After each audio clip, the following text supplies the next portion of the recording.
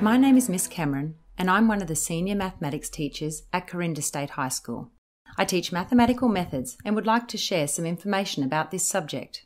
At Corinda, mathematics is compulsory in all years of schooling.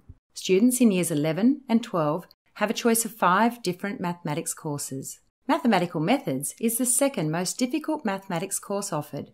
Students who choose to study the highest level mathematics course, Specialist Mathematics, must also choose mathematical methods. In our mathematical methods course, you will study topics such as algebra, functions, statistics, and calculus. The assessment for this course is primarily examination based, but students are also required to complete a written assignment.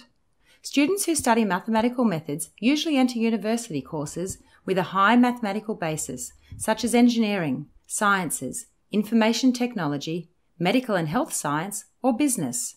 We have lots of visitors to our school, and you'll have the opportunity to meet and interact with other international as well as Australian students who enjoy studying mathematics. I look forward to having you as part of our mathematical methods classes.